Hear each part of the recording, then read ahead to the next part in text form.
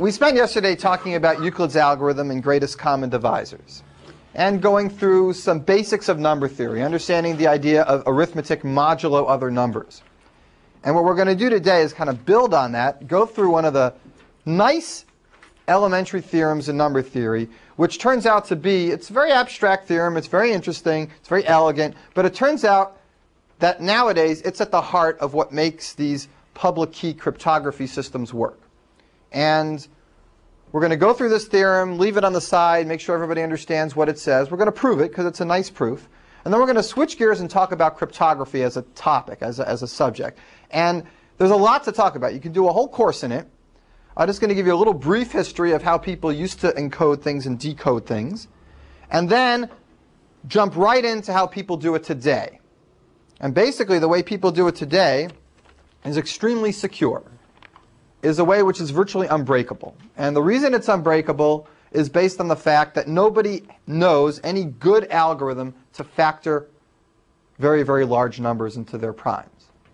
If somebody had a good algorithm to do that, then all these cryptography methods that are popular nowadays would crumble and be easily breakable. And you'll see why you need to factor large numbers in order to break this code. And until somebody comes up with any method of factoring large numbers that works, these codes are going to be essentially uh, completely secure. By the way, it's not known whether factoring large numbers is really a hard problem. Nobody knows whether it's NP complete, and nobody's got any good algorithms for doing it. There's a lot of research that goes into that. There are probabilistic algorithms for trying to determine whether a number is prime or not algorithms that don't necessarily tell you the right answer, except they got a good chance of telling you the right answer. So if you run them a lot, you get a pretty good sense of whether the number is prime, although you don't know for sure. You know for sure, you know, within a one-tenth of a percent margin of error. That doesn't tell you how to factor the number. That just tells you whether it's prime or not. But actual factoring is, is a hard problem that nobody's got a good algorithm for, short of trying all the possibilities, and that's just too slow for the large numbers we're talking about. So that's where we're headed. The history of cryptography a little bit, talking about where it started, where it ends up, where we are today, why it connects to number theory, and then doing some examples. Okay, questions? Here we go. So we're going to start with a nice theorem that it's all based on, sometimes called Fermat's theorem or Fermat's little theorem. This is to distinguish it from Fermat's last theorem, which is more famous. Here's what Fermat says. He says, take a prime number p.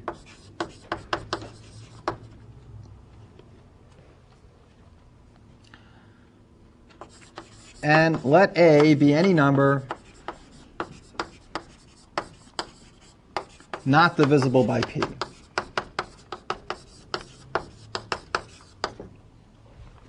Here's what his theorem says. Then a to the p minus 1 is congruent to 1 mod p. That's the theorem. There it is up on the board. I'm sure it's in your book as well. It's in a, pretty much every number theory book. Look at it and try to figure out what it says. In the meantime, I'll do an example, and you already know what it says if you look at the example. So let's pick a prime number. Let's say, uh, pick your favorite prime. Don't pick your, I'll pick it. Yeah, you get 5. Five is my favorite prime. And pick any number that's uh, not divisible by 5. Let's say 6. So this theorem says that 6, so 6 is A, 5 is P. This says that 6 to the fourth is congruent to 1 mod 5. 6 to the fourth is uh, 1296. 1296? Ends in 6. And if you divide through by 5, you get a remainder of 1. So I want to make sure everybody knows this notation. This means congruent to 1 mod 5. That means when you divide by 5, you get a remainder of 1. That's what that notation means. Okay, that's what the theorem says. And it's true and it always works. And the question is, why does it always work? And we're going to try to prove it and get an idea. If you understand the proof, great. If you don't understand the proof, it won't affect your understanding of anything after it. So make sure you understand the fact that the theorem's true. We'll work on the proof for about five minutes or so, and then we'll move on to cryptography. Where did the six come from? I just picked it out of a hat. It's any number a that's not divisible by p. Let's try another number. 11 to the fourth. Well, that also ends in ends in one, right? So some of these are easy to see, some are harder to see. I picked five because it's easy to see that it's true usually. If it's lower, Hmm? if it's less than p, if you had three, two, Oh, that should work. As long as it's not divisible by p, anything less than p should work. Um, here, 4 to the fourth. What's that? 4 to the fourth is 256. Yeah? Yeah, no, it should work fine for things less than p. Other questions? All right, so why is this true? the proof is really kind of clever, and it's a good example of, of how you can kind of come up with very interesting theorems, and the argument as to why they're true is really, really elegant. So I'm going to do this argument in its generality. I usually do arguments with particular examples because I think they're easier to understand. But I don't think you'll miss the point if I do this in general. So here's what we're going to do, and follow me along. We're going to, I'm going to convince you that in general, p is going to divide evenly into a to the p minus 1 minus 1. That if I take this 1 away from here, then p will divide evenly there. That's the same as showing that there's a remainder of 1 when I divide by p. So how am I going to do that? Here's how we're going to start. I'm going to start out considering this sequence of numbers. A, 2a, 3a, all the way up to p minus 1 times a. Just consider the sequence. In the example we just did, that would be 6, 12, 18, 24. We'd go up to 4 times 6. 6, 12, 18, 24. Maybe I should do a specific example while I do the general example.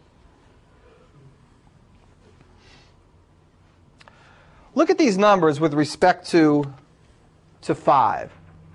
What are the remainders of these numbers with respect to 5? Let's write them down. 1, 2, 3, 4. They're all different. The first thing you need to notice is that is completely not coincidental. It doesn't matter whether the number was 6 and our prime was 5, so we did it four times. It, with any a and with any p, this sequence of numbers is going to give congruences mod p that are all distinct. Let's try to figure out why that's true. But it doesn't necessarily start with one. That's just a Doesn't necessarily start with 1, but they'll all be distinct. Now, why is that? Take any two of these, any two at all. They differ by multiples of, what's the difference between them? Multiples of a, right? 2a and 7a. They differ by a multiple of a. What I'm going to convince you is that if I take any two of these and I look at their difference, that that difference will never be a multiple of p. If they're going to have the same congruence with respect to p, then the difference between them would have to be a multiple of p. If they're both congruent to 1, then the difference between them would be a multiple of 5. I'm going to convince you that the difference between any two is never a multiple of p. The difference between any two of these would never be a multiple of 5. Therefore, they have to be congruent to different numbers with respect to 5. How do you know that any multiple of a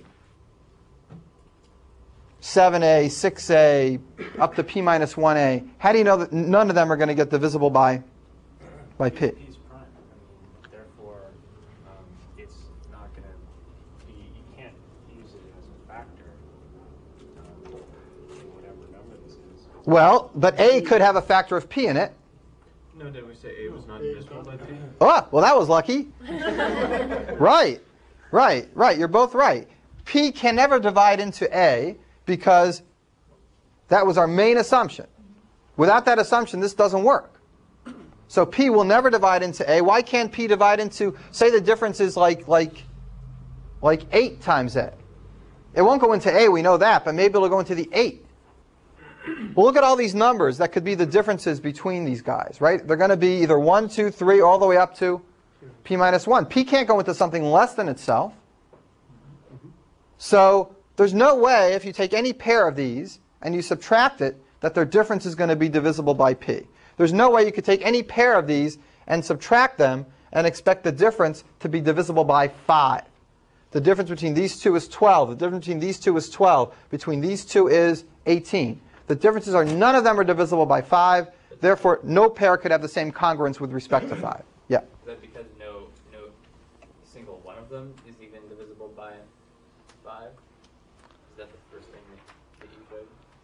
I didn't show that, but it's true that no single one of them is divisible by 5. Okay. Um, I thought that's what you showed how the coefficients obviously can't be divisible by five because they're less than it, and the a can't be divisible by. You're 100% right. I- I've also showed, although I didn't mention it explicitly, that none of these could be divisible by p, and no difference between any two could be divisible by p. The difference between any pair is very important because that shows that the congruence with respect to p of this one and the congruence with respect to p of this one are going to be different. If they were the same, then the difference between them would be a multiple of p. And the difference between them can't be a multiple of p. That's what we've, we've discussed. How is it that Because the difference between any pair here has to be some multiple of a. Oh, right. And it's got to be some multiple of a that's less than p minus 1 multiples. So for the same reason that an individual. The same reason that any individual one can't be divisible by p, that's the same reason that the difference between any two can't be divisible by p. Because the difference between any two is the same as one of these Yeah. individual ones. Yeah, Tony. Okay. Questions? All right, so what does this mean? It means it means the following that somehow, if I figured out the congruences of all these numbers with respect to p and I wrote them down, I'd have all the numbers. How many congruences do you have with respect to p? You can have one, you can have two, three, four, all the way up to p minus 1. We're not going to get zero here, right? It's not ever divisible by p. Now, they could be in any order we want. So we have to come up with an argument here that doesn't use any order. So here's our argument. So I didn't write this down, but you should have in your notes. Every one of these has to have a different congruence with respect to p. Okay, make that note to yourselves. And here's what we say then. So hence, I'm going to multiply all these things together.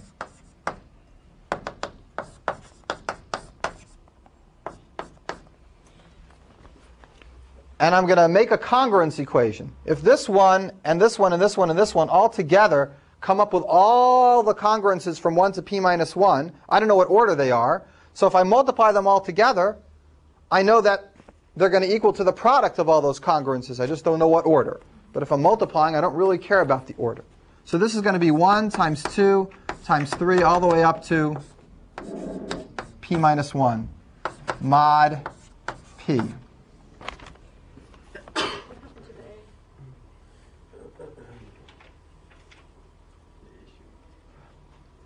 There's A's here, but there's no A's here. What happened to it? Because I know that each of these individually is going to be congruent to one of these numbers, 1, 2, 3, up to p minus 1. And each of them is going to be congruent to a different one. So if I multiply these all together and I check their congruence with respect to p, it's going to be equal to the product of all the congruences together. I just don't know what order. So I might as well just write it in ascending order. Okay? Are we positive that we're not going to skip any in there? Yeah, because we know they all have to be different, and there's oh, p Oh, minus one of them. okay. So we've got to have one of each. And that's the right question to ask. That's what makes this argument so clever. We've shown that there can't be duplicates. We know we have to get p minus one of them, so the only choices are 1 all the way up through p minus 1. All right, so let's check to make sure this works. Okay, so that, what would this mean in the example that we just did? It would mean that 6 times 12 times 18 times 24 is congruent to, to 1 times 2 times 3 times 4 mod 5. That better be true. Well, we know that 6 is congruent to 1, and 12 is congruent to 2, and 18 is congruent to 3, and 24 is congruent to 4. So this should work, and you can multiply it out and check. When you multiply these all together, you get all terms that have multiples of 5s in them, except for the only term that doesn't necessarily have a multiple of 5 is 1 times 2 times 3 times 4. All the other terms have multiples of 5s in them. That's another way to look at it. Okay? Yeah, Is Teresa? that what congruence is? Is you sort of like divide out the common factor? Is- Is that sort of, it doesn't mean anything to me. at this moment. Congruence, these two are the same because if we don't care about multiples of 5, they're equal. But, but sort of overall, what is congruence? It- It seems to me from what I've seen so far that it has something to do with factoring out a common factor to sort of. Here, this is what congruence means. about it 'cause it's sort of common to all these- 7 and 2 are congruent mod 5 because they differ by a multiple of 5. Oh, Okay. 12 and 2 are Sort of take it out because we don't. 12 and 2 are congruent mod 5. Okay. It's it's a way of saying that it's a way of actually setting up an equivalence relation on all the numbers in the world. 2 and 7 and 12 and 17 and 22 are all in the same equivalence relation. They're all the same. Anything that differ by 5 are all the same. Okay. That's what it's about. Right. So what I'm saying is that none of these are the same with respect to, to P. They're all different. Does that make sense? Yeah. Yeah, Okay. Joe, what's your... No, I don't understand how those two are, how seven and twelve are both congruent to two mod five. That's what, that's what the definition means. What this means is that you subtract 2 from 7 and you see if it's divisible by 5. Check the difference of the two and see if they're divisible by 5. Okay? Yeah, Dimitri? And another way to think of it is they both have the same remainder when you divide by five. They both have the same remainder. Right, so all the numbers in the world are in five classes. Either they're divisible by 5, or they have a remainder of 1, or they have a remainder of 2, or they have a remainder of 3, or they have a remainder of 4. Every single number is in one of those equivalence classes. And you can prove that that relation of congruent is reflexive, symmetric, and transitive. So, it's, so it partitions all the integers into one of five groups. You're very familiar with one thing just like this, just odd and even numbers. Right? Odd and even numbers are just numbers that are congruent mod mod 2, right. Okay? So there's two equivalence classes there, the odd numbers and the even numbers. Yeah. For a congruence, you can put a mod on one side and it applies to the whole thing. And for an equation, you would apply a mod to whichever sides you want to specify.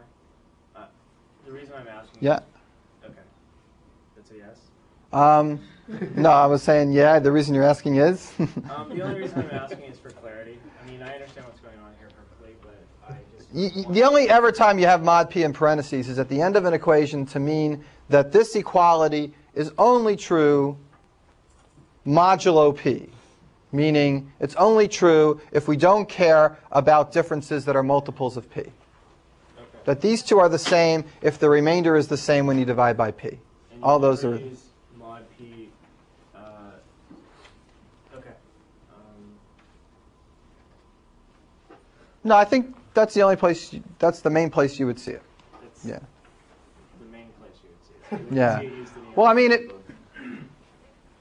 I don't know. I mean, you probably you might see it somewhere else, but but have like two equals seven mod five. Yeah, but that's- mod five just refers to the. yeah, you'd see it like this, but that's the same as that. It's two equals seven mod five. You ever see it as an operator, like friends seven? Oh, in a computer program, you might see it as an operator. Right. You'd see it like this in a computer program. Seven mod two. That has a completely different meaning.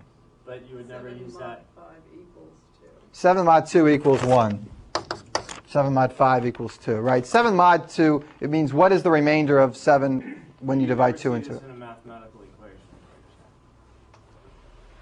No, not unless it was a computer program. You Right. want to use it like a multiply, like a, in a multiply symbol, for example. Well, you wouldn't use the word mod, no. You, you, in C, you'd see it like this, right? It's a percent sign, right? And in Pascal, they actually called it the word mod. But outside of the language Pascal, I don't think people generally use the word mod as an operator. But you, you want to use it in algebra. Generally not, right? Well, if you did, you'd have a different symbol for it. I mean, you often talk about the remainders of things, and you'd say, Seems like it would be useful when stating an algorithm like this to be able to specify something. You could. You, you could use the word mod. You could use percent. You could use, you could use the greatest. Uh, you could use the upper ceiling. There's a lot of ways to describe mod. It's basically a division where you subtract the whole number part away. So there's lots of ways to do it. Is that- what ceiling means? Ceiling means round up. So if you divide and then and then round down and then subtract, you get mod. All right. Are we back on track? Uh, other questions? All right. All right, so here's where we're up to. We take these numbers, we multiply them through, and presumably 24 mod 5 is going to be what? 4. So presumably if we multiply these all together, we'll get a remainder of 4, and you will. And this is true. So where do we go from here? We're actually not too far here from here. We can actually get there in a couple of steps, and then the proof's going to be done. So the main logic in this proof is going from here to here. In writing it down, I'm going to regroup here a little bit. How many a's do I have? p minus 1a. So I got a to the p minus 1, right? Times what? Good, times p minus 1 factorial. Good. I got p minus 1 a's, and I got 1, 2, 3, 4, all the way up to p minus 1. That's this side. And I'll subtract the other side off. What do I get down the other side? p minus 1 factorial. This is the difference between the left and the right side. And if they're a congruent mod p, it means, and we write it like this, and this means that p divides this equally, evenly. So this implies this. This means that p divides the difference between these two. And they, Mhm. they're different by, by a factor of p because they, they work out to the same, they're both mod 4. Right, because they're both congruent to 4 mod 5. So when you subtract them from each other, there's going to be a multiple of 5 between them. Okay. So things that are congruent to 4 mod, mod 5 would be 4, 9, 14, etc. So if you subtract any two of them, you get a multiple of 5, or in this case, a multiple of p. Joe, you had a question? You had a, No, um, a look on your face a second ago. Now it's gone. I don't understand why you're doing that step, and why can't you just say, um, that the left side is, that, that a to the p minus one power times p minus one factorial Mhm. is congruent to p minus one factorial, therefore a to the p minus one must be congruent to one mod p. I could do that, if you see that. Fine, then no reason. Then that's fine. You get it completely. I'm just trying to, well, I'm trying to break it up into smaller steps. This implies this, and we're trying to get to this. So we have one more step to get there. p divides p minus 1 factorial times a to the p minus 1. Did I do that right? No. Minus 1. There we go. That's what I'm looking for. I factored out a p minus 1 factorial. So if p divides this, can p divide p minus 1 factorial? All the numbers here are smaller than p. Right? There's no factor here that's as big as this prime number. So this prime number will never ever divide anything in here. So if it divides this product, and it can't divide the first part, Therefore, it has to divide the second part. Okay, it's like saying a 5 divides into 4 times 3 times 2 times 1 times something else. Well, it's not going to be able to divide into any of these, so it's got to be able to divide into this one. So this implies that p divides into a to the p minus 1 minus 1. And that's exactly what this says. Okay, that p divides into the difference between a to the p minus 1 and 1. So the main step in the proof is going from here to here, and then there's just a little algebra. Let me stop.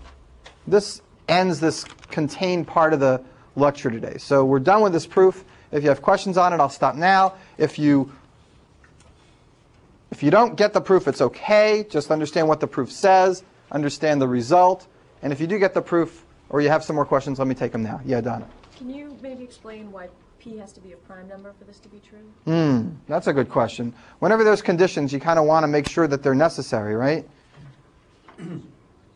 Why does p have to be a prime number? Where did we use it in any step? It's like five steps. Doesn't divide easily. Any number smaller than that. In this step here. Right, Baruch thinks it helps here. What do you think, Donna? What if this number wasn't 5? What if this number was 8? That's not a prime number.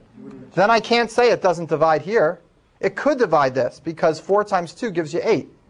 But when it's prime, I know it's not going to be able to divide any possible combinations of these because there's no way to split that number up into pieces because it's a prime number. So it's used in this step from going here to here.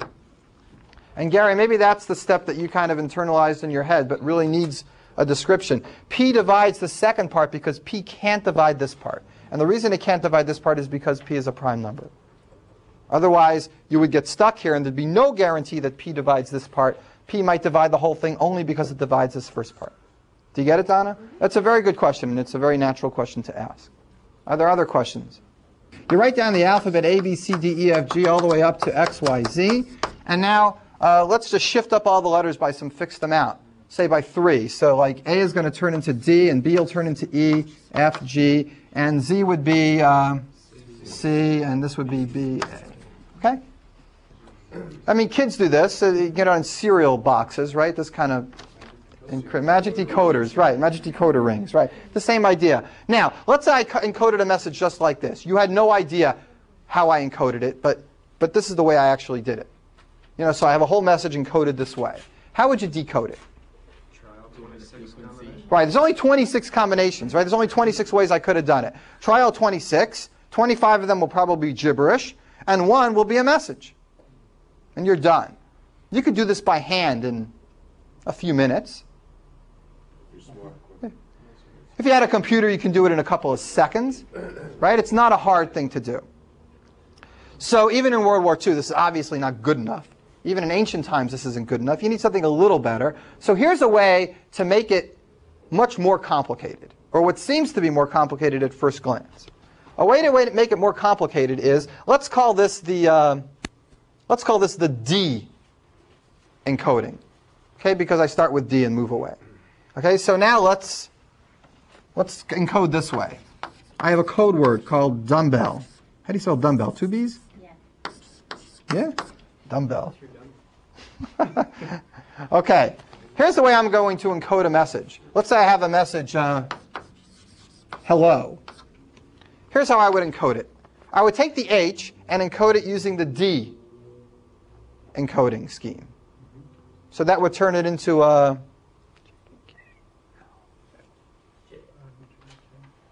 K. K. And then I take the E and encode it using the U encoding scheme, whatever that ends up being. And then I take the L and encode it using the M, and the other L encode it using a B, and the O using the other B. And if the message goes on and on and on, sooner or later I hit the end of my encoding word, and then I wrap around to the beginning. Everybody get the idea? This is much harder to decode. How many different possible things do you have to try, completely brute force, to decode a message that was encoded like this? If you have no idea what the code word is. Do you know the length of the code word? You don't know anything.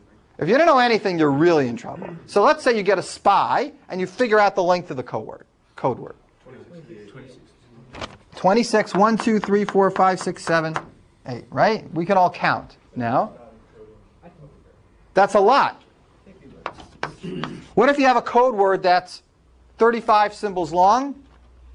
It's not so practical to do this anymore. Okay? Because it gets to be 26 to the 30 something. Everybody get the idea of why this is better? This really just shoots it up an exponential amount. But this is exactly the kind of encoding the Germans used, give or take. And it's exactly the kind of stuff that was routinely broken using a combination of computer help and a combination of ingenuity. So, without getting too much into the details, how would you go ahead and try to solve something like this without just brute force trying them all? Uh, Rob, you have a Well, you can look, you can, you can use algorithms to look for the most common letters, uh, patterns of commonality, um, even through a pattern like that. Not that I know the algorithm. Okay. Uh, that, that is actually one of the main ways they do it. Maybe I should follow up a little bit and be specific about Rob's suggestion. Here's, here's one method. Every language seems to have some frequency of how often the letters show up in typical messages. Everybody knows this if you watch Wheel of Fortune. RSTLN. right? Mean, it's like, like, like- you know this because in Wheel of Fortune, when somebody gets up there, you know, and I don't know, what do you have to spend some money to, to, to buy a, to get a letter or something? So you get a letter and you guess Z. Is there a Z? And it's just like the, the crowd groans. Get a clue, right? Z. No, no, no, I mean X. I mean Q, right? So everybody knows that some letters come in more frequently. And you can do this very scientifically. You can say, say in, in, in theater uh, productions, the letters group in this way. In letters, one to another, the letters group this way. They might, the percentages might be a little off. In certain types of ways of expressing yourself in a particular language, you get this many percentage of E's, this many percentages of F's, this many percentages of D's. You can do this, and you can get people to calculate it for you. So how does that help? Here's how it helps. Let's go here to the H. The H was encoded using D, right? Now let's move on. 1, 2, 3, 4, 5, 6, 7, 8. The eighth letter is also going to be encoded using D.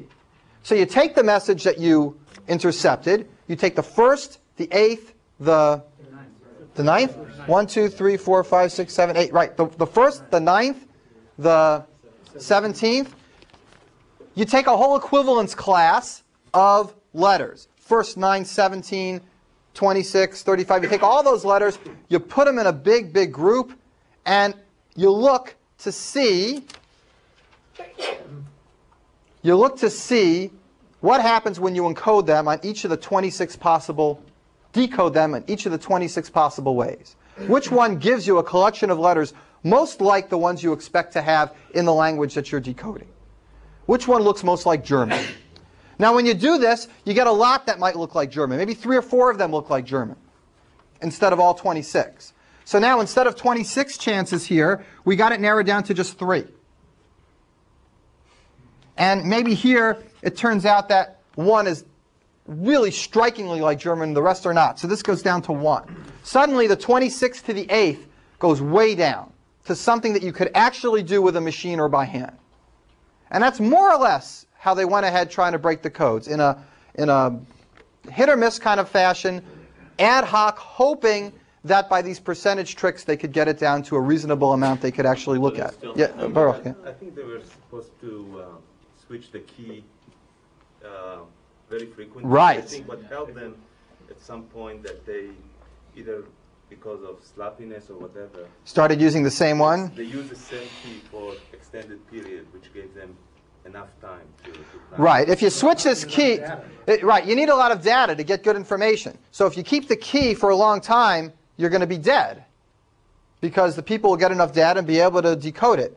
At the same time, the other thing you want to switch is the length. If we don't know the length of this keyword, we can't do this at all. We don't know what the equivalence classes are. We don't know that it's the first and the ninth and the and the 18th and the second and the 10th and the 19th. We don't know what to do. So getting the length is very important. Predicting the length of the next keyword is important. And that was done with a combination of espionage and all sorts of other tricks, guessing the method they used to pick the length of the next keyword. The length, I don't think the length of the keyword is that hard, 'cause I think what you do from, this is from the code book, which Have Michael's copy that's not sitting on my Yeah. desk, but it goes through the whole history and how they broke it. Uh-huh. But I think what they did to figure out the length is you look for repeated combinations of letters. Because there's a good chance the is going to be encoded a lot. So maybe you'll get three That's true. So, so good. So you can make backward inferences as to what the length of the keyword is based on, on repeated letters. That's true. Next stage. All of these encryption methods, at least theoretically, with enough computing power, can be decoded if you guess well enough and you have some help. Certainly, if you have a good spy, you're completely dead. If you steal the code word, then decoding it is trivial. Right? You just go backwards. So the goal is to get an encoding scheme where you can publish the encoding scheme in the newspaper so everyone knows how to encode the message. But even though you've published the encoding scheme in the newspaper, nobody can easily use that to go backwards. Now it seems like that's impossible at first glance because if I publish the code word, everybody can go backwards. Okay, adding numbers modulo 26, which is what we're doing with this alphabet code, is the same as subtracting numbers modulo 6. There's no difference. It's the same arithmetic, it's just as easy. So we need to come up with a function that's different than adding numbers modulo another number, because the inverse of that, subtracting numbers modulo another number, is too easy. We need to come up with a function whose inverse is hard. Okay? So squaring numbers, the inverse is square rooting numbers. Whatever you can do forward, it seems you can do backwards. So we need to come up with an example that you can't do easily backwards. All right, and that's what is done today. You publish the public way of encoding. Anybody can encode it, but just because that's published doesn't mean anybody can decode it. Everybody is stuck for decoding it. So everybody can encode something, hand it to the person next to them, and ask them what was this when it started, and none of the people would know, even though they had just encoded something themselves. All right, that's the idea. We're going to show how this works. All the details. I mean, no, nothing will be left out. All right, questions about this? All right, so how do you use something like this? If you have something like this, then you can buy stuff on the internet even if you're a paranoid lunatic, right? It doesn't matter. You can, you can, you can think that the whole world is wanting to steal your credit card and you would never, ever like leave a carbon in the old days, like in a garbage can. You'd rip it into shreds. If you're a person like that, you are completely safe because you encode your credit card with a publicly, you know, printed algorithm and you send it over the internet and nobody can decode it. Well, somebody's got to decode it, right? So there's so there is a way to decode it, but you need special information. That information is secret. That information is in the hands of one particular person. So say you have a company and they want to take orders by credit card. They hold the secret piece of information that helps them do the inverse, the decoding, in a vault. They use that to decode, and they publish in the newspaper the way you encode it. So everybody can send them their credit cards, and only they can figure out what the credit card numbers really are. So suddenly you can buy securely. Right. Another way that this is used is a way that doesn't seem obvious at first. I'm not going to show you how to do it yet, but I'll show you another way to use it.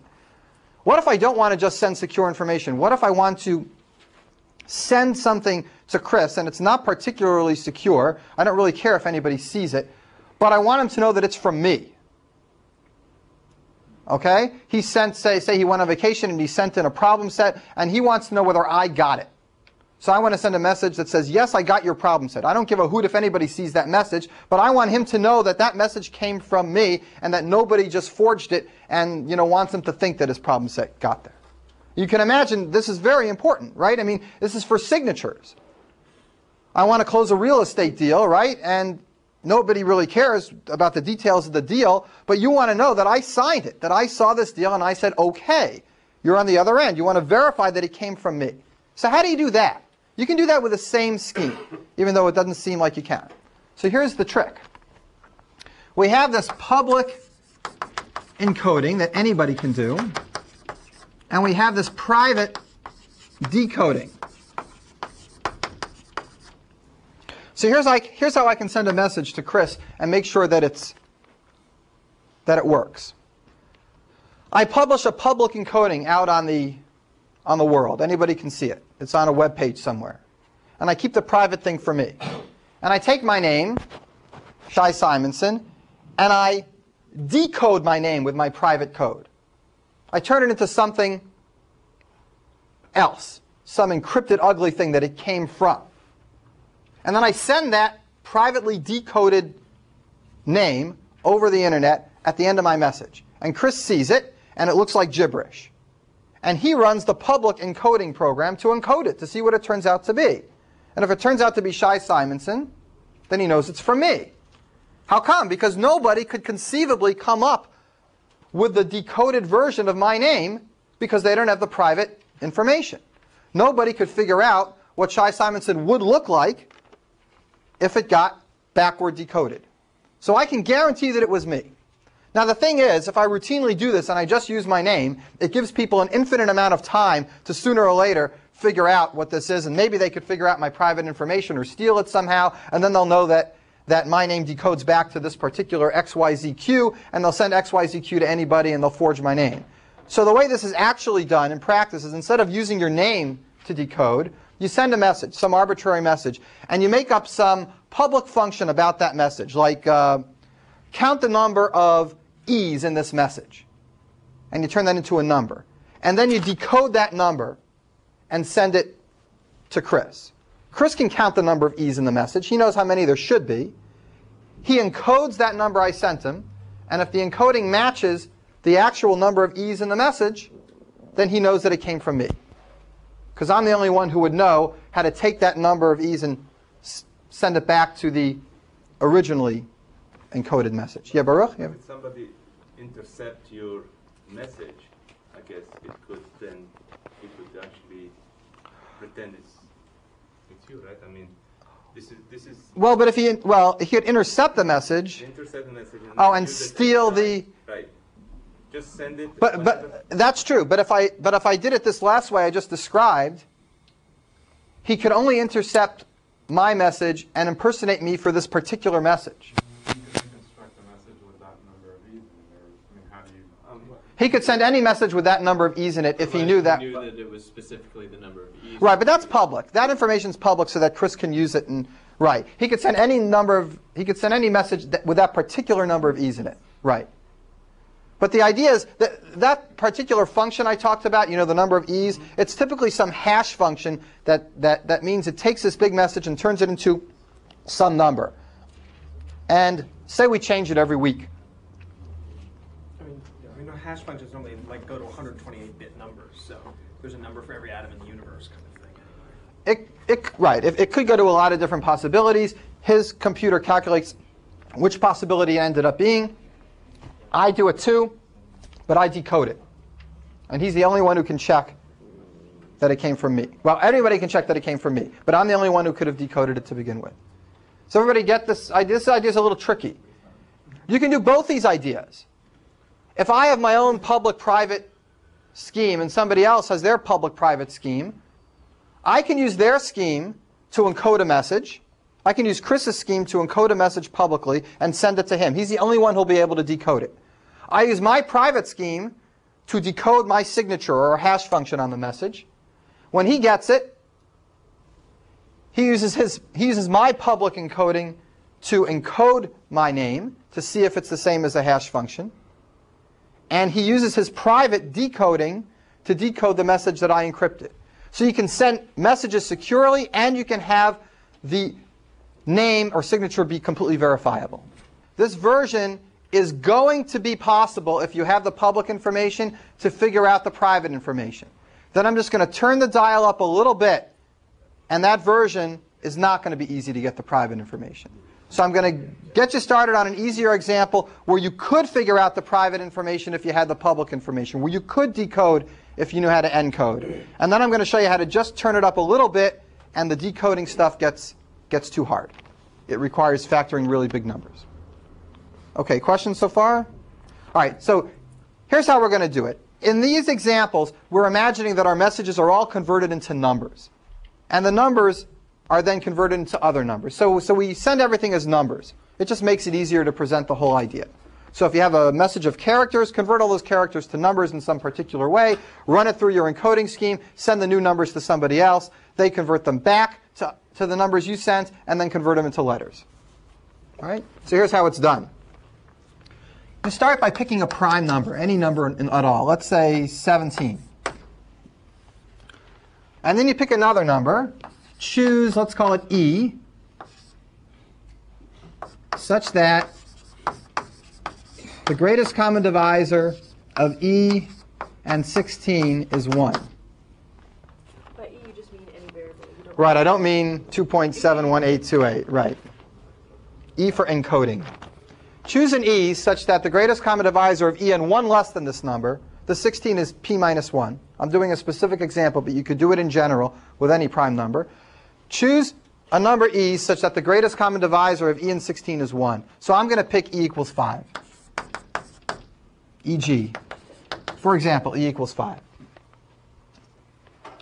This isn't too involved, so don't expect too much more. It's actually almost here.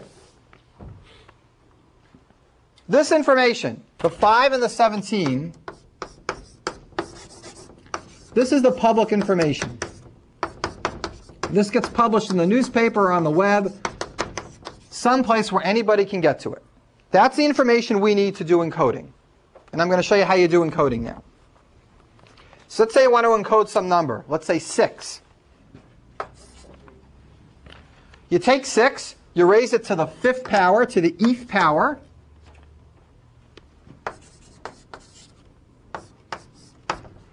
Oh, this is what Tony's asking before. The answer is yes to your question. do, you, do you ever use mod as an operator? You do. 6 to the fifth mod 17 means what's the remainder of 6 to the fifth with respect to 17? Yeah, yeah. Well, here's a straightforward answer. Finally, I understand what you're asking. Um, 6 to the fifth mod 17. That means take 6 to the fifth, divide it by 17, and tell me what the remainder is. Okay? Anybody know what that is?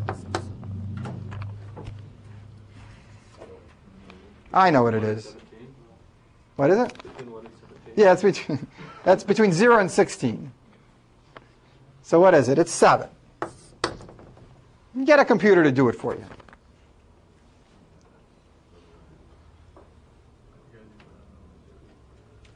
All right, questions so far? Well, that's it. Now you know how to encode numbers. Somebody publishes this information, you take the thing you want to encode, you raise it to this power, you mod by the 17. The 17 is the prime, this power is the e. You have to know which number is which. You don't want to do 6 to the 17 mod 5. You have to know that this is e and this is the prime. So it's given to you in order. You're told that this is the exponent, this is the prime. That's how you do encoding. All right. Question so far? The question is how do you decode? And with this, we're going to come up with a whole issue of how to make sure the decoding is hard. Encoding is easy if you have this information. How do you decode? You get 7. You're wondering what message was sent. Hmm, 7. I wonder what this person really meant. They really meant 6. but how do you figure out that they meant 6? The reverse function is very similar to this function. It's going to be 7 to the something mod 17. And in particular,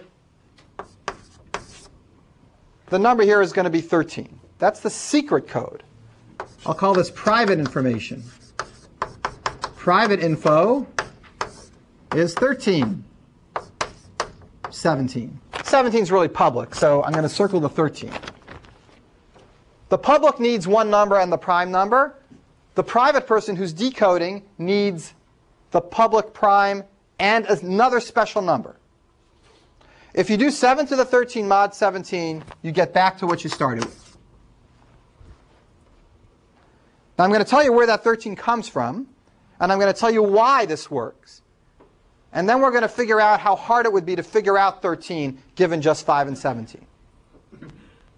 Okay, so far, right now, this is just magic. You can check this and see that it works, but it, but it does. All right, so. Questions so far?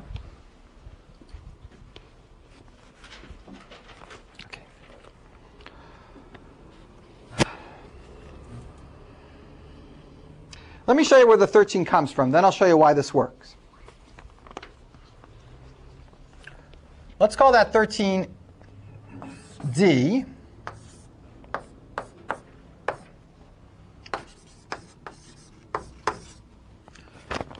Here's the 13. You want to pick a D, a private piece, such that when you multiply D and E, you get something congruent to 1 mod 16 if you're wondering why the hell would you want that, it's very important. This condition is what makes this thing work. And you'll see why in a second. But for now, let's just understand what it's saying. In our particular example, e is 5. So we want a number such that 5 times that number is congruent to 1 mod 16. This 16 is 1 less than the prime we started. Okay, so if it was a general prime, it would be p minus 1 there. Well, let's do this in our heads. What number times 5 is congruent to 1 mod 16? Well, the answer is 13. 5 times 13 is 65.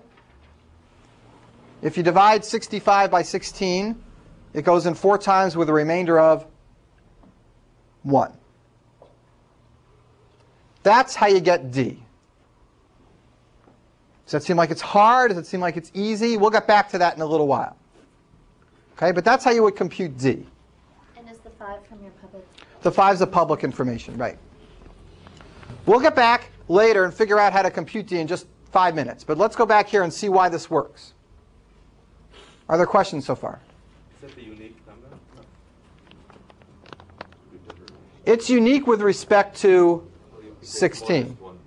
You could add multiples of, You pick the smallest You- one. right, you pick the one between 0 and 15. You- It's, it's unique with, with mod 16. Yeah, it's unique. Okay. By the way, there doesn't even have to be a D if 5 and 16 are not greatest common divisor 1. Remember I said 5 and 16 have to be greatest common divisor 1? The reason for that is that there's a solution to this equation. If 5 and 16 are not greatest common divisor 1, if it's like 5 and, and 25 or something, then there might not even be a solution to this. So it's important that that condition is true at the beginning so that we get a solution to this. We'll talk about this solution, how we do it in a couple minutes. But first let's go back here and convince ourselves that this works. The reasoning that this works is the way that the real one is going to work. So concentrating on this next idea is, is going to help you just zoom through the actual idea in a couple of minutes. Why does this stuff work? Here's what we have to show. We have to show that if you take your hidden value, let's call it m, and you raise it to the fifth, 6 to the fifth, and then you take that, you get a 7, and then you take that 7 and you raise it to the 13th, that you get back to what you started with. So we want to show that if I take m to the fifth and then I raise it to the 13th, so m to the fifth to the 13th, that's m to the 5 times 13, that that's going to be congruent to first to the fifth, then to the 13th, gets you back to m, gets you back to what you started with. Mod 16. Mod 17, sorry. If I can prove that to you, then I know encoding followed by a decoding is going to get you back to what you started. That this is going to be the encoding and that's going to be the decoding. That they're inverse functions of each other. First due to the fifth, then due to the 13th. You start with 6, you end up with 6. Why is that true? I'm going to convince you this is true and it's based on Fermat's little theorem. Questions so far?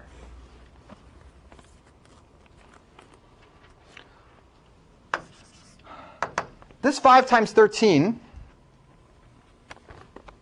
what do you know about it? What do you know about that 65?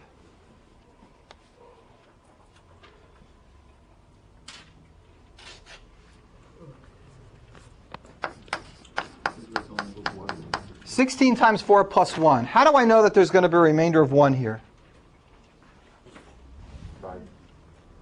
Right?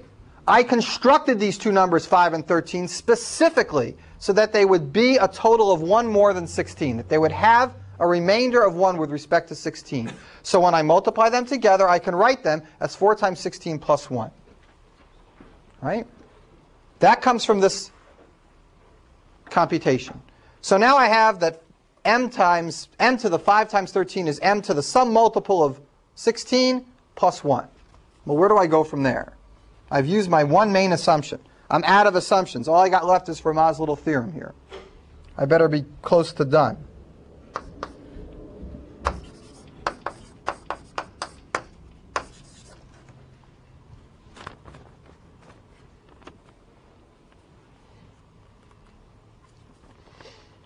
M to the 16 times 4 plus 1 is m to the 16 times 4 times m.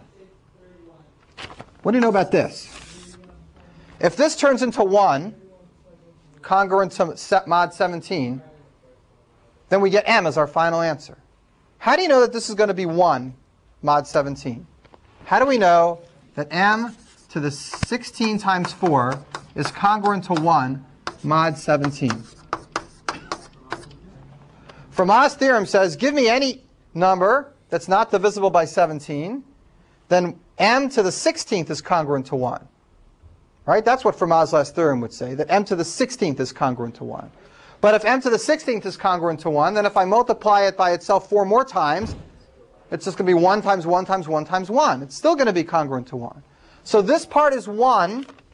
This part is congruent to 1 by Fermat's last theorem. So the whole thing, m to the 65, is congruent to m. The whole thing works because this piece here ends up being 1 because of Fermat's last theorem. Questions about this? And m is small enough.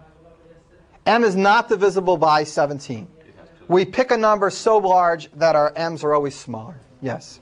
Right. If m was divisible by 17, this wouldn't necessarily work. So we make sure that m is smaller than 17, and we're safe. Yeah, Brian? I'm just having a hard time remembering exactly what congruent to 1 means. It seems like a silly problem, but uh, that, does that mean that, it, that there's going to be some multiple of 1 in the remainder? What- It means that the remainder, when you divide through by 17, is 1.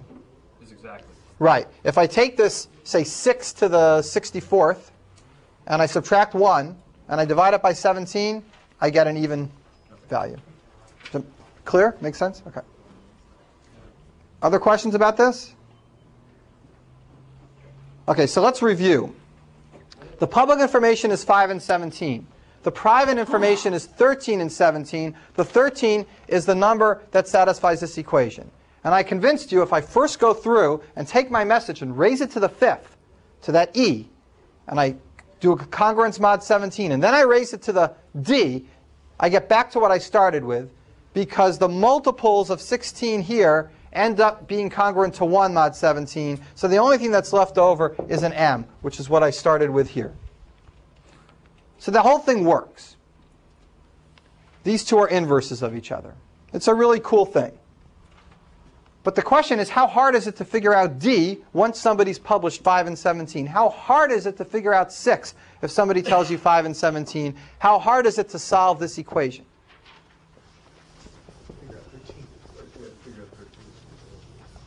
How hard is it to figure out 13? Right. Well, let's see. Let's pretend we, I didn't tell you the answer was 13, and we try to solve this equation. What does this equation say? It says, find me d such that 5d minus 1 is divisible by 16. Right? Equals 16 times, uh, pick a letter, p. Some multiple of 16. Or find me d and p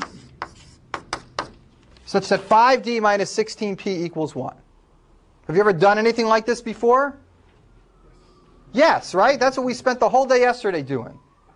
You know that 5 and 16 have a greatest common divisor of 1. That was a big assumption we made. If it has a greatest common divisor of 1, you can find a d and a p to make this equation equal 1. So finding d given e is as straightforward as using Euclid's algorithm and doing a backward substitution. In fact, it's easy. It's not hard to get the inverse. If I publish 5 and 17, then anybody with a computer in about 3 seconds can say, hey, the private one is 13 and 17. So this is at the point where we need to just turn up the volume a little notch. The same exact idea can be milked one step further where the computation of the 13 becomes very hard instead of very easy. Okay? So here's the main idea. So stick with me. Don't get tired right now. This is the most important part. The next step does this. It publishes, instead of publishing 5 and 17, it's going to publish 5 and some big, big, big number which is not prime. I'm not going to use a big number because it's going to be impossible to show you the example. I'm going to use a small number, but you can imagine that the number is very big. I'm going to publish the number 34. Normally, you would publish a number which is a product of two 128-bit prime numbers. Okay, a huge number which has huge factors, hard to factor. I'm publishing 34. You could all factor it to 2 and 17. I'm going to convince you we're going to do the same similar trick. But when this number is published, we can't do anything until this number gets factored. Since we can factor this number, we'll be able to go through the whole thing and recompute the private key. But if you couldn't factor this number, you'd be stuck. And I'm going to show you why and what point this all happens in just a second. So that's where we're headed. Questions about this? All right, so the private key is no longer known. It's, it's, it's a mystery. And now we've published 5 and 34. Just as before, if you want to encode 6, it's 6 to the 5th, but this time it's mod 34. Instead of mod a prime number, now it's mod some other big number, which is a product of two primes. I'm going to write here a product of two large, large prime numbers. This is not a great example of that. 2 and 17 are not large. 2 is about the smallest prime number you can get. But normally these are two really big prime numbers. You multiply them together. So there's only two factors in this huge number. Okay? Finding them would be hard. And you encode the same way. And you're going to decode in a similar way. 6 to something mod 34. And I'll tell you the secret. The secret is that the private code here is also 13. So you would decode this way. Actually, this ends up equaling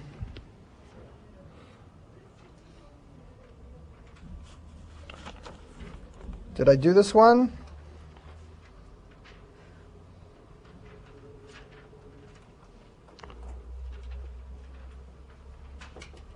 Hold on.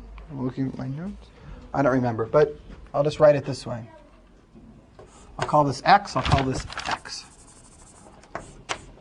To encode, you raise to the fifth power. To decode, you raise to the 13th power. The question is, how do you find out this 13? The computation of the 13 in this situation is going to be harder. It's going to have us require to be able to factor these numbers. Yeah, uh, EJ. You don't use X on, when you're decoding. You No, I'm just saying, you take whatever you want and you decode it this way. It, it's, it's not the same. I'll call it Y, yeah. Yeah. Yeah, this would be M and this would be M inverse. Yeah, yeah. I should use a different letter. Okay. Set? All right. 24, if you care. What's 24? Oh, this? You know when you use Oh, okay. So 60 codes to 20 codes to 60 goes to 24, and this would codes back to, to 6. Okay. Um, I don't think we need it, but, but we can go on. Okay. Where does this 34 come from? I said it comes from two primes. In this case, you know the primes are, we'll call them P and Q. 2 and 17.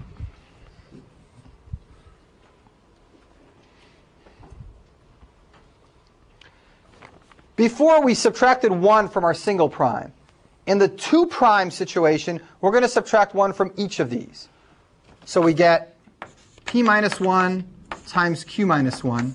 And that's 1 times 16, and that equals 16.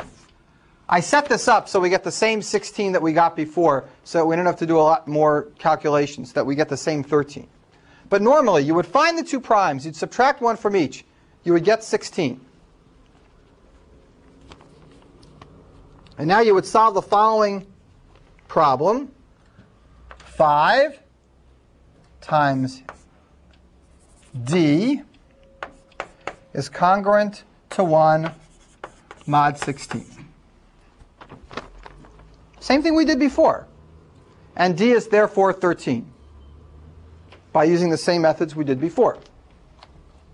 The difference here is that we didn't get to this equation until we did this step over here. We didn't know this number 16 until we first did what? Until we first took 34, factored it out, subtracted one from each, and multiplied them together. You can't get to this point until you factor a very big number. This step here is the slow step. We can't figure out d until we do this factoring of, the, of 34. Factoring is a very hard thing to do. You take two huge numbers, multiply them together, get something here, and then give it to somebody and say, what two numbers did I start with? And they can sit for three weeks, and they won't be able to do it. So multiplying two prime numbers is easy. Extracting them once they're multiplied together is very hard. So I need to still convince you that this does the inverse of this. That if you do x to the fifth and then you do x to the 13th, that you still get back to x, even if you do it in this peculiar way,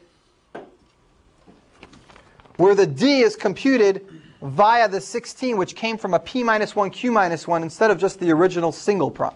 Why does the whole thing still work? And that's going to wrap the whole thing up. So before I do that, let me stop for final questions. Then I'll do that. It'll take five or ten minutes and we'll be done. Are there any questions so far? We set it up the first way, just relative to a single prime, and it turned out that it ended up with this equation, which we could calculate the private value for. How do we calculate d there? The same way we did before. You calculate 5d minus 16p equals 1. You calculate two values to make this true. And that's what we did yesterday with Euclid's algorithm. The same exact way we did it before. The question is, how did we know it was should be 16? And that takes a lot of work because we have to factor to find that 16. So if you have let's Shyam, yeah. all the known prime numbers sitting somewhere, you could just start multiplying to find out what factors. Yeah, there's a lot of prime numbers. Um, You should be able to. you mean your idea of factoring to a, a large number is to try every pair of primes and see if they work? I mean, look at the number of digits and roughly. after another and check the other one's That's an algorithm and it would take a long time. Um, yeah. Uh, yeah. Let's check this and see that it works, and then I'll stop for final questions and we'll wrap up. 34 you have here is the 16 here? It, the, The 34 is what's published now, right. and the 16 is calculated from a factoring that lets me calculate the private code. The private code comes from, a, comes from this equation with respect to 16. The 16 was calculated by factoring the numbers and subtracting one from each and multiplying them together. Oh, and the two times seventeen is thirty-four. Okay. Right. The 2 times 17 is a 34. The 2 times 17 came from factoring the 34. So the only thing left to show is that this whole thing still works, that, that, the, that the x to the third, that the y to the 13th is really the inverse of the x to the 5. That they really are backwards, that they do the opposites of each other. So let's go through the argument again, because it's the same argument as before with one little twist. 5d is congruent to 1 mod 16. 5 times 13, 65 is congruent to 1, is remainder of 1 with respect to 16.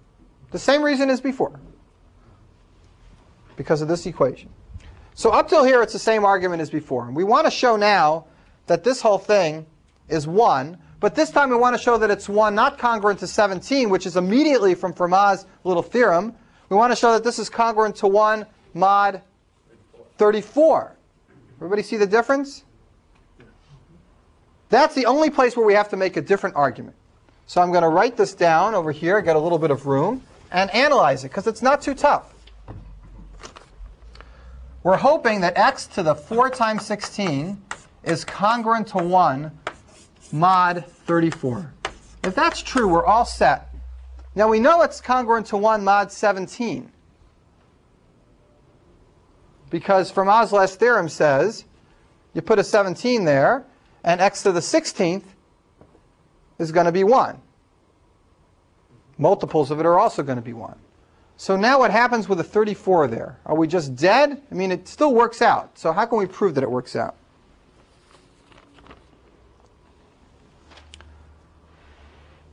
Well, let me write down what we do know.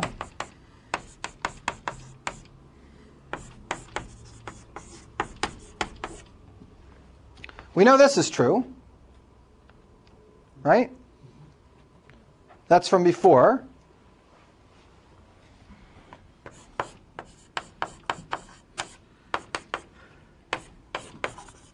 What about this? Is that true?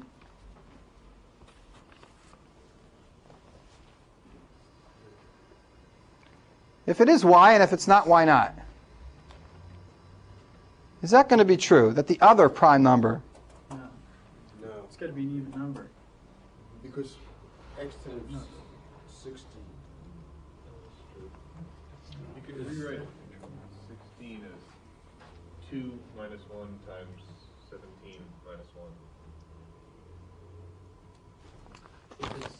1. Now let's let's look at let's look at EJ's idea. You want to write 16 as 2 minus 1 times 17 minus 1. In other words, it's the same as 1 times 1 times 16. The, what EJ's pointing out, where did we get the 16 from? It was p minus 1 times q minus 1. Right? So it's 4 times 16. Maybe it's hard to see it with the 2. What if it was, uh, let me stick with the 2. That's 16 times 1. So let's try to use Fermat's little theorem again. If there's a 2 here, what number can you put here? What exponent can you use? 1 less than it. Right? So there is a 1 explicitly there. We don't write it in. 16 times 1 is 6 p minus 1 times q minus 1. So Fermat's last theorem, little theorem says that x to the 1 is congruent to 1 mod 2. So multiples of that are also going to be congruent to 1 mod 2. This is completely symmetric. p minus 1 and q minus 1 are together making up 16. So they both appear here times 4. This one's going to be congruent to 1 mod 17 because 16 is 1 less. And this is going to be congruent to 1 mod 2 because 1 is 1 less. I want to show that x to the 64th is congruent to 1 mod 34. And all I've shown now is that it's congruent to 1 mod 17 and congruent to 1 mod 2. Let's remind ourselves what this means. It means I've got some big ugly number here. I don't care what it is. Call it whatever you want. x to the 4 to the 64th. Let's give it a name. Let's call it b for big and ugly. I know that b minus 1 is divisible by 17, and b minus 1 is divisible by 2. Okay, the b is x to the 64th. You got some big number. It's divisible by 17, that's a prime. It's divisible by 2, that's another prime. Therefore, What's your B? Your B uh, the b is x to the 64th. That's the b. If you ever have two prime numbers, and they each divide into some other number, then their product also has to divide into that number. You can prove that if you want to, but it's kind of logical. Uh, when is this not true? What if they're not prime? Is it? Can you give an example where it doesn't work? What if uh, 4 divides into a number and 6 divides into a number? Does 24 divide into the number? 4 divides into 12, 6 divides into 12. 24 doesn't divide into 12 because they're composites. So little pieces of this can combine together in a way that you wouldn't necessarily expect. There's overlap in the factors. But if these two are prime and they each divide into here, that means that prime factor has to be a part of this, and this prime factor has to be a part of this. So their product must also divide into it. Therefore, 34 also divides into x to the 64th minus 1. 34 also divides into b minus 1. Therefore, this is true. Because these two numbers, 17 and 2, are prime. 4, yeah. I'm still not clear how we proved that it would that x to the 64 is equivalent 1 mod 2. It's also by Fermat's little theorem. By Fermat's little theorem, if there's a 2 here, then anything to the 1 is going to be congruent to 1. Okay. So x to the anything is congruent to 1. x to the 1 is congruent to 1. Multiples of that will also be congruent to 1. It, may be not the best example to see it with a 2, but pretend this was a 15 instead of a 2. Then the numbers here would be 4 times 16 times 14. And then there'd be a 14 here and a 15 here. And then it would work the same way. The trick here, it's really kind of, I showed you the first case because the first case was around before the second case was. And the real breakthrough was really a simple idea. It was just taking the first case, adding an extra prime minus 1, instead of p minus 1, throw in a factor of q minus 1. And everything works exactly the same as it did before, except now, before you can solve for that d, you need to factor these numbers to get your p minus 1 times q minus 1. And it's that factoring step that makes the whole thing hard. So it was a clever way of taking something that worked before that had an easy inverse, doing a teeny twist on it, and making it have a really hard inverse. And this is exactly what's used today. The numbers they choose are typically, this is what you go by in your new uh, browsers, 128-bit encryption. Which means that after you multiply these two numbers together, the two large primes, you get a number that's 128 bits long. So that's, uh, how many base 10 digits is that? Base 2, it's 128 bits, so it's about 3 point something, uh, uh, uh, 3 point something digits for 10, so 40 or so? Something like that. 40 some odd base 10 digits. So it's a very big number. And you have to be able to factor that. And I think that's on the order of 50 years to factor a 128-bit. That's just a small one. You can get 4096 on big systems. Uh-huh. So that's like centuries. Right, that's centuries. Uh, as far as anybody knows, maybe there's a good way to factor numbers. If you come up with an algorithm that's polynomial for factoring numbers, that'd be really interesting. And I got to tell you, for those people who sit around and try to solve NP-complete problems, you're a lot more likely to find a polynomial algorithm for prime numbers, in some sense, than you are to find a polynomial algorithm for an NP-complete problem. Because prime numbers aren't NP-complete. So maybe there's a chance. I should say there's another reason why you wouldn't expect a polynomial number for prime numbers, but it's a little complicated. The complement of the problem is, forget it. We, well, we'll do it in theory of computation. Yeah? Do, do people uh, change encryption keys to be on the paranoid side? I don't know. I don't know what's really done. I don't know what companies really do. It, it flips with every request. That's how secure, eh, like HTTPS works. Mhm. The key changes at every request. So anytime you send your credit card number, it's using a different key to, enc- to encode it. And actually, there's a transaction sequence where light encryption is used on a pre-key that builds up a heavier encryption with another key that builds up the transaction encryption scheme, the full length. Oh, that's interesting. Oh yeah, I should. I mean, I, Actually, when you that's what I've read is done. Wh- wh- When you actually when you encrypt anything, I mean, we did these examples with just a single number being converted to another number. But what typically happens is you get these kind of partial sums in a message. Your, your message is a is a collection of these numbers. So you encrypt the first one, and then you connect that with the next one to give you a larger number. Then you encrypt that, and you connect that encrypted one with the next one to give you a larger one. You see, so you embed the encryptions one in another, rather than just encrypting them, I think, one at a time. So if you have like, like a sequence of 100 numbers, you just don't encrypt each number one at a time and send them. You encrypt one, uh, concatenate it with the next one, encrypt that, etc., and just embed it. I think that's how it's actually done. Um, but I'm not sure. Questions?